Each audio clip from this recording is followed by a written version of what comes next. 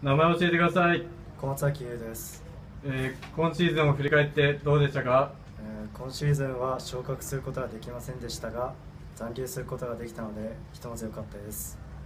えー個人としての反省点を教えてください。えー出場時間がとても少少なかったのですが、えーワンアシストすることができたので良かったです。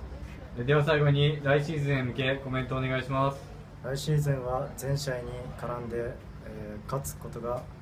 できるようにしたいです。ありがとうございました。